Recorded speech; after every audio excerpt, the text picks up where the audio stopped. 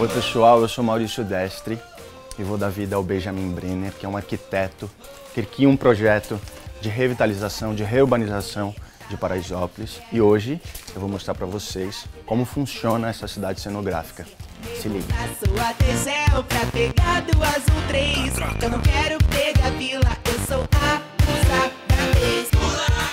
Olá, estou entrando aqui na padaria Lindorella. É um dos cenários que a gente tem vida interna, onde as coisas acontecem dentro do cenário. E é muito interessante nessa novela é, que grande parte dos, das, dos cenários das cidades cenográficas não vão para estúdio, são todos filmados na cidade cenográfica.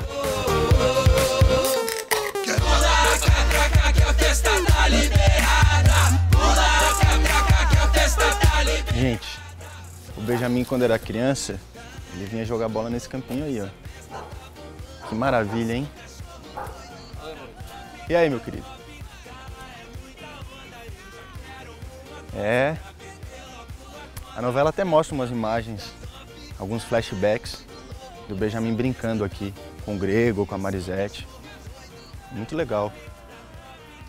Essa cidade cenográfica é muito grande, são mais de 10 mil metros quadrados. Foram cerca de 120 funcionários envolvidos na construção e foram cerca de mais ou menos dois meses para construir é, uma das maiores cidades cenográficas que já foram feitas aqui na Globo. Top, da top, tá, é muita onda, eu já quero uma dose O que esse boizão tá fazendo na minha favela, tio? Tô apresentando a tua favela, tio.